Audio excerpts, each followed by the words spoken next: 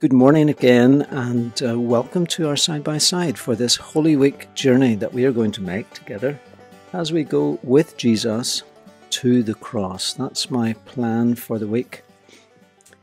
I want to begin in Luke chapter 19 today because that's where, as it were, the story begins in the record of Luke.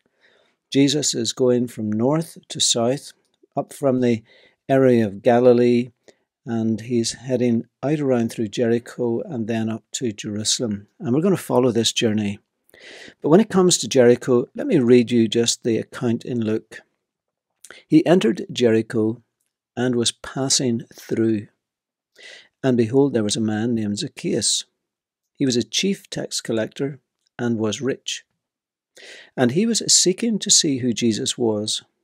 But on account of the crowd, he could not because he was small in stature. So he ran on ahead and climbed up into a sycamore tree to see him, for he was about to pass that way. And when Jesus came to the place, he looked up and said to him, Zacchaeus, hurry and come down, for I must stay at your house today. So he hurried and came down and received him joyfully. And when they saw it, they all grumbled. He is gone to be the guest of a, of a man who is a sinner.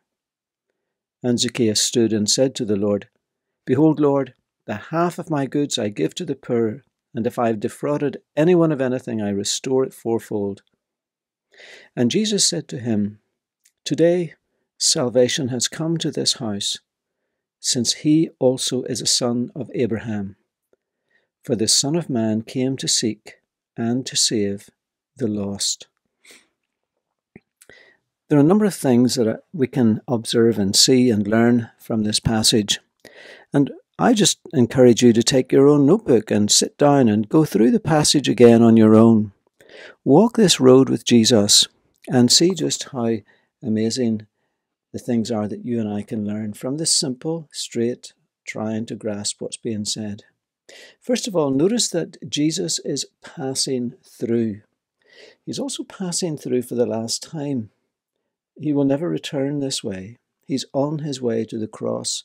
He's on his way to the ascension, ultimately, to glory. And I find that quite a profound thing, just to think about time, the last time. Because there are many people in this world for whom Jesus will pass them by one final time. And I have no idea when that time is but I certainly know it is a reality and something that everybody should be aware of. What the passage tells us about Zacchaeus, well, that he's a chief tax collector, he's very rich, he's small in stature, and he's seeking to see who Jesus was. Those are all very important things, and when we put them together, we get a picture of this man. I was reading a little note in a in a in a new devotional by David Gooding, the late David Gooding, and he talked about how his smallness in stature maybe created a sense of smallness in his nature that made him be the person he was, you know, small, but he was going to prove to everybody else that he was no small, insignificant person. Maybe that was what drove him on to become what he was. Certainly, he became very wealthy, and certainly he became very unpopular. But what do we read? He ran ahead. He climbed the sycamore tree to see. At this point in time, we have no clue about, about Zacchaeus having had any great sense of longing to get to know Jesus. Deeper than this, all it says, he wanted to see Jesus. He heard about him, he knew about him, and there would certainly be stories circulating about Jesus. And he might not get to the front of the crowd, but he wanted to get to see Jesus. I think there's something in this about sight. For just prior to this, we have the blind man who, on the way into Jericho, calls out to Jesus, and Jesus not only gives him his physical sight again, but he gives him spiritual sight. And here we have this other man, a small man who can't see over the crowd. You know, I just put these things to you and say, is there something there that the Lord is trying to say to us? You know, the crowd clearly can stop people from seeing Jesus. And maybe the crowd that you're associated with is stopping you from seeing Jesus. Maybe that's something you need to get above. You need to really make an effort to get above that. or it could pull you down in a place that would be very, very sad. Then Jesus passes under. Nobody notices Zacchaeus. Why would they? Well, for all sorts of reasons. I mean, Zacchaeus is not high on their list of important people, if less, well, at least only important to be, you know, not to be ple- not to be pleasant to. But Jesus stops, and I get this sense that everything stops just for a brief moment. You know, like the crowd goes quiet. How would Zacchaeus hear his name in the middle of those leaves rustling up there above him? Jesus brings everything to a silence. And then Zacchaeus hears his name being spoken by none other than the Lord himself. Imagine that. The very creator, the very creator of the universe speaks his name. And you know, the very creator of the universe speaks your name as well. He knows your name. He knows everything about you right now, where you are, your story, he knows the struggles, the trials. He knows your guilt that you feel. He knows your attempts to do things or failures. He knows everything. And then Jesus says, Hurry, come down. Haste, urgency. You see, Jesus has an appointment to keep in Jerusalem, as we shall see how amazingly timed that appointment will be, and we'll see that tomorrow. But that's another story. Hurry and come down. There is urgency. Jesus is passing. There is urgency. Do not delay. Your name has been called. This is your moment. And then what do we read?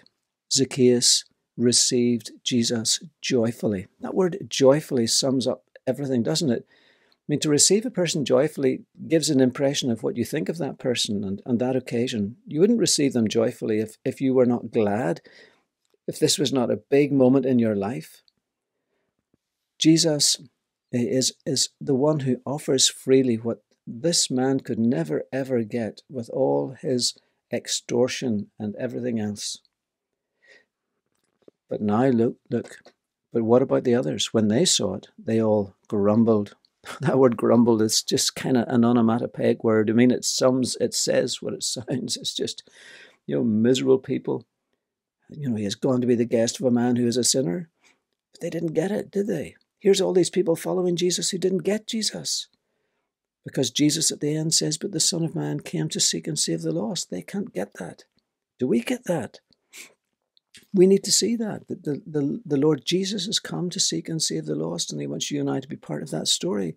He sends us out not just to stroke people's heads and make them feel comfortable, but to bring the news of a Saviour to them. And what's the effect of this then, finally? Well, Zacchaeus makes restitution. What a what a restitution! I mean, this is this is no sort of small tokenism.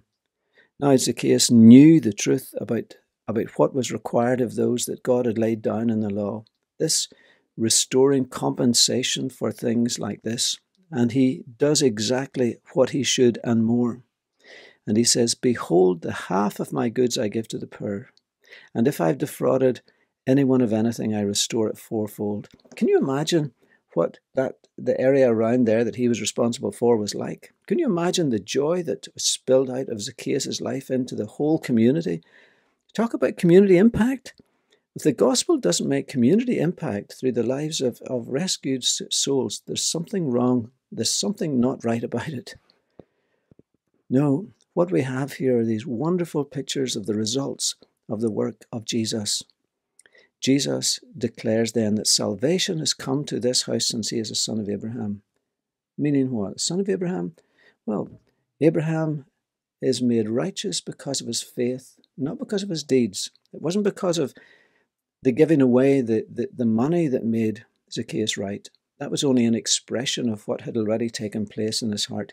He welcomed Jesus, he acknowledged Jesus, he put his trust in Jesus, and then he became someone who really was a demonstration of the power of Jesus.